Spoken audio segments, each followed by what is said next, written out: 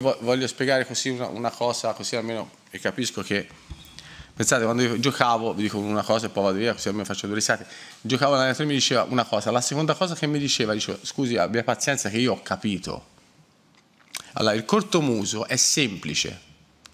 Era rivolto al campionato, sì lo spiego, va bene? Era rivolto al campionato, quando mi dicevano la Juventus a Ferrari doveva vincere il campionato di 27 milioni di punti.